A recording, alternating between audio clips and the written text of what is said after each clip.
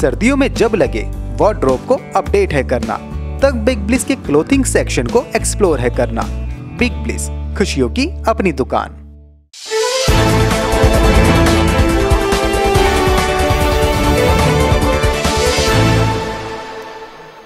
यहीं से बात करें अगर अब बिनौला खल की तो देख रहे हैं कि बिनौला खल का जनवरी वादा तैंतीस सौ आठ पर ट्रेड करता नज़र आ रहा है। आधे फ़ीसदी से ज़्यादा की करेक्शन देख रहे हैं कि बिनौला खल का जनवरी वादा आधे फ़ीसद से ज़्यादा की गिरावट के साथ ट्रेड करता नज़र आ रहा है। आपको बता दें कि बिनौला खल इस बार काफ़ी तेज़ी की ओर जाता नज़र आ चुका है।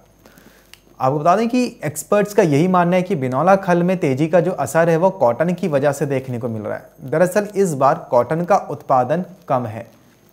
कॉटन का उत्पादन कम है कॉटन के बीजों की उपलब्धता थोड़ी कम है। और अगर इनकी उपलब्धता कम रहेगी तो कॉटन खली भी, जो कि कॉटन के बीजों से निकाले गए तेल के बचे वेस्ट को कहा जाता है, उससे अगर वो कम रहेगा तो बिनौला खल का उत्पादन भी कम रहेगा। अभी तक एक्सपर्ट्स ही बता रहे हैं कि जो आंकड़े निकल के सामने आ रहे हैं, लगभग 10 से 15 फ़ीसदी बिनौला खल के उत्पादन में इस बार कमी देखने को मिली है, जिसकी वजह से हम देख रहे हैं कि बिनौला खल की कीमतों में सपोर्ट मिलता नज़र आ रहा है।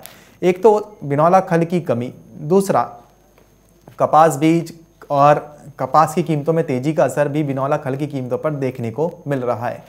और दूध उत्पादन में इस बार कमी देखने को मिली है और बिनौला खली एकमात्र ऐसा उत्पाद है जो पशुओं में दूध की मात्रा को और दूध की फैट की मात्रा को बढ़ा सकता है, जिसकी वजह से बिनौला खल की डिमांड लगातार निरंतर बनी हुई है। लेकिन आज जो करेक्शन बनी है, उसका भी कोई मुख्य कारण है। वो आपके साथ साझा कर देता हूँ।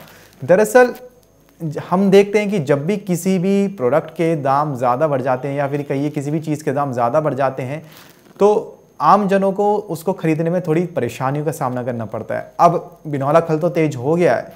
बिनौला खल के व्यापारियों को अच्छी कीमत मिलने की उम्मीद है और अच्छी कीमत हम देख भी रहे हैं कि मिल सकती है।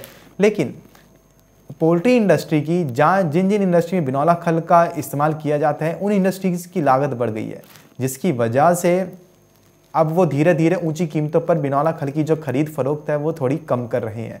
इसी की वजह से आज हमने बिनौला खल की कीमतों में एक करेक्शन बनते हुए देखी है। और हो सकता है कि अभी जो करेक्शन है, आगे जारी रहे।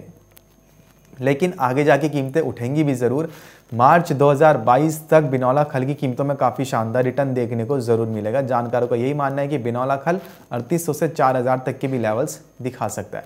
तो बिनौला खल साल 2022 में कम्युनिटी का राजा बनकर भी उभर सकता है। बिनौला खल में आगे जाके काफ़ी शानदार तेज़ी भी देखने को मिल सकती है। फिर से आ गया है कोरोना। घर पर रहने में ही है सबकी भलाई। अब आपको मेडिकल स्टोर पर लंबी लाइन में नहीं लगना। बिग ब्लिस लेकर आएगा। 10 मिनट में आपके घर पर दवाई। बिग ब्लिस, खुशियों की अपनी दुकान।